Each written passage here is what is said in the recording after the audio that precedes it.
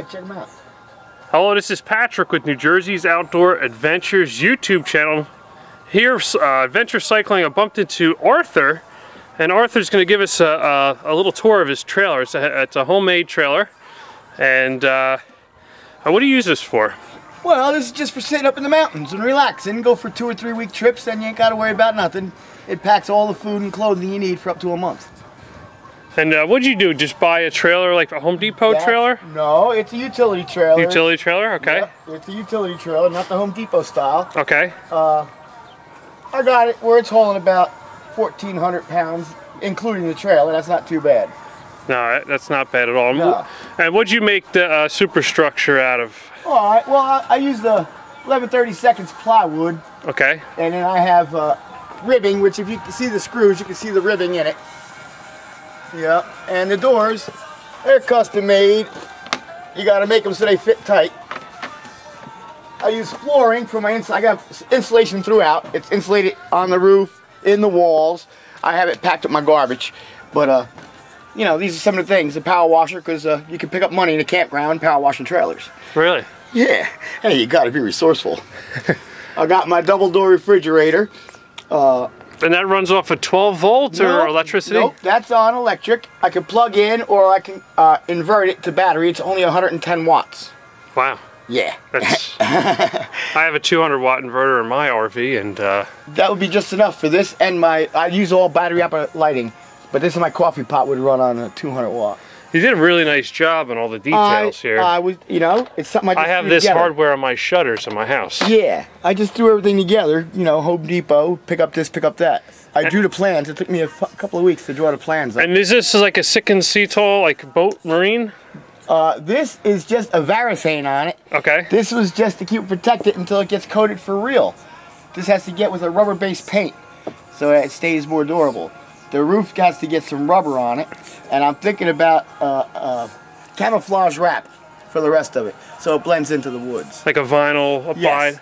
Yeah, a vinyl. That, that's really cool. And you got a couple extra tires here, I see. Yep. If you go on a treacherous road. Size. Different size, yeah, that would give you more wheel clearance.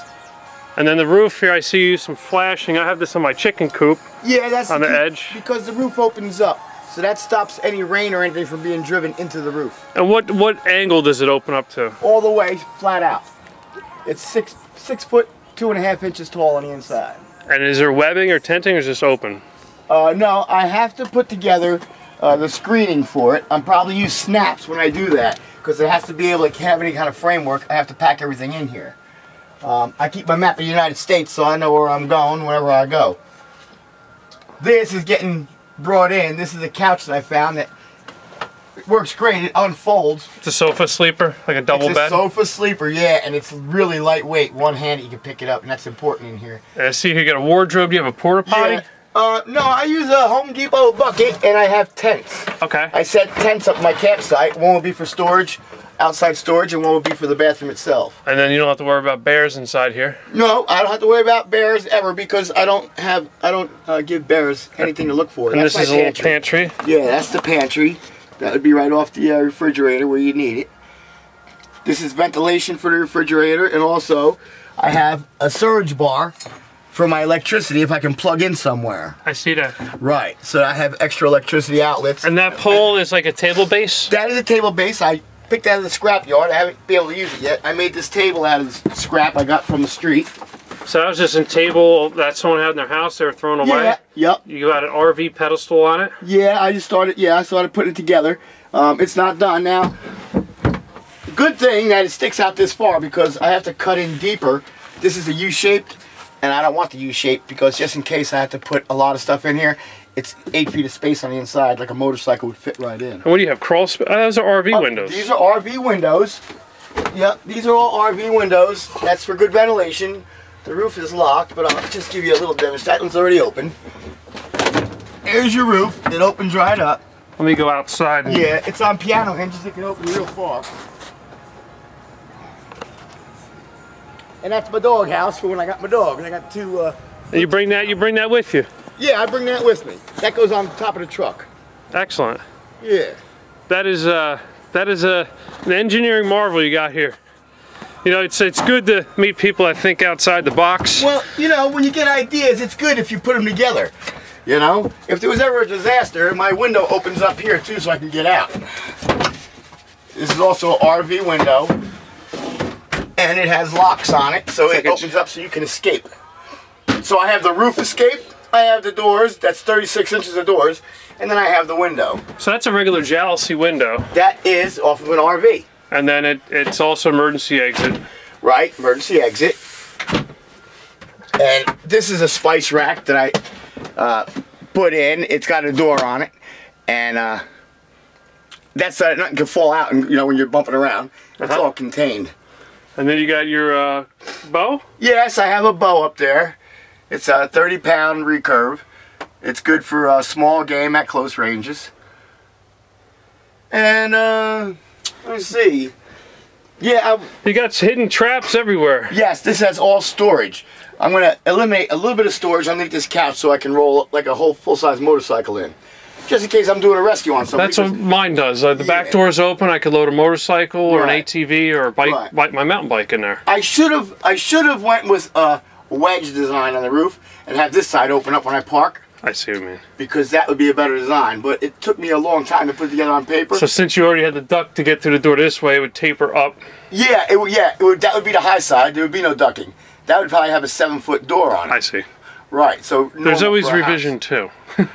Right. So what uh, what what got you into the whole I guess survivalist uh, outdoorsy? did you or did you serve in the military? no, they call me the wild man. I grew up in the mountains. really? I grew up a camping family, and I would, uh, they would all go to sleep in a camper, and I would take my sleeping bag, go out in the woods.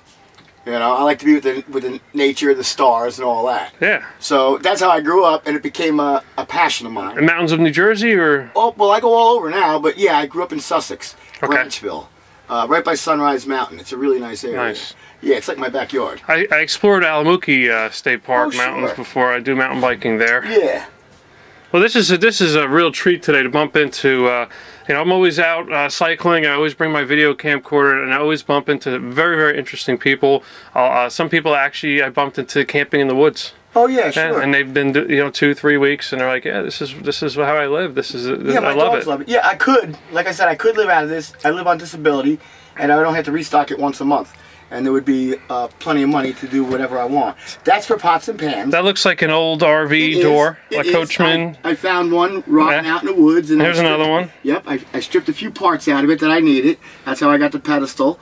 And uh, yeah, you know, people don't really have time, I guess, to uh, invest in themselves. No. You know, this You work is- for a living, you work, work, work, Uh, work, then you retire, and then Right. and And, then you know- you can't do some of the stuff you want to do. A lot of people don't like to go to work. I love to go to work, and when I couldn't go to work no more, I ended up with a, a hole in my soul. I didn't know how to fill it up. Yeah. I started traveling all over. I had a lot of hard times, but uh, this is what helped me out, help me fill it Yeah. in. You live like the nomadic uh, lifestyle, nomad. You get to meet a lot of people. Yeah. Yeah, I'm always friendly when I go out. I introduce myself to Me a lot too. of people, right? And uh, invite them to my fire. Uh, I'm famous for my fires and my fireplaces. I put them together in an hour, and they stay burning for as long as I'm there. They never go out. Really? Even in the rain, even in the snow, I can. And I love the snow the best. As you see, I'm not dressed. I don't know what it It's is, a gorgeous day here. 40 is it? 45 degrees. About that. Yeah, I. That's my perfect weather. Hey, I'm out here today doing the same thing, just a little bit more gear on. We can take a walk around the outside. This is my portable generator. Never used yet. Never had to. But it's two-stroke. Runs. It runs forever on a little bit of gas. Okay. I have a four-stroke generator, but man, that thing's heavy as anything. Yeah, that one you can carry around one arm. Yeah. So this is uh, the front here, Yeah, that's my hitch.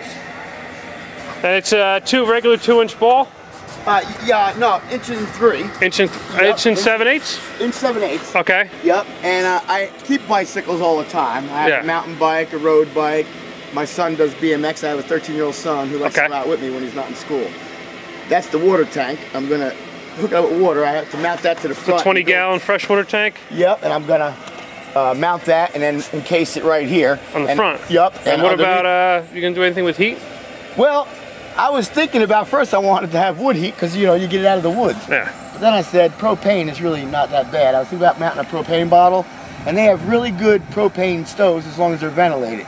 So it's not nothing to cut a hole in. I have uh, a zero ventilation uh, buddy heater. Oh yeah, those are good. Zero ventilation is what you want. I need a little window open because the, the humidity Right. level gets high. Yeah, it does. But uh, that's what I have a buddy heater. I have a 20 pound propane tank. Yeah. And it does the trick.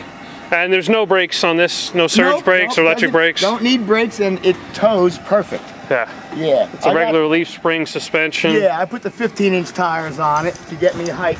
Mm-hmm. The Suburban's a little high and I had to level it off. I got a two inch drop on the Suburban. here. Excellent. Well, Arthur, I really, really appreciate you taking the time today to show us your trailer. I wish it was done. You did an excellent job. It'll never be done. There's always there's always refinements people make. Mine's not done, and it was built But you use complete. it, right? I use it. There you go. See, that's all it takes.